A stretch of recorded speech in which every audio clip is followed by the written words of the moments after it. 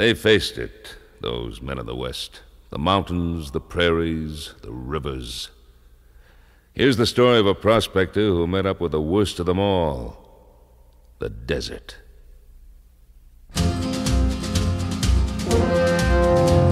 When I began my search for gold, I stopped to have my fortune told. Silently, her fingers traced my hand. I said, What will my future be?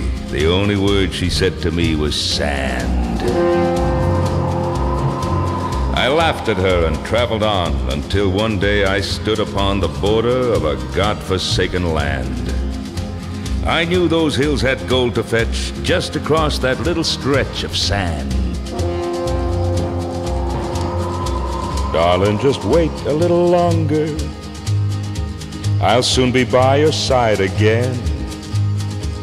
I'm almost at the rainbow's end.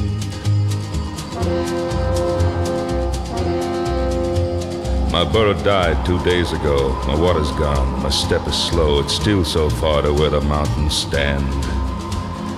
Not another living soul, just a poison water hole and sand.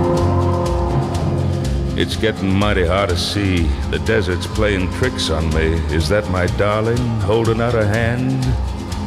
My arms reach out, my fingers clutch, but Lord above me, all I touch is sand. Goodbye, darling, wait for me no longer. My mortal strength is gone at last.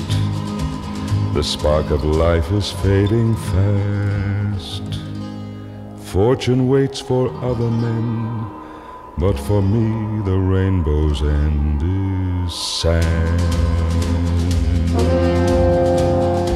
Endless, burning sand.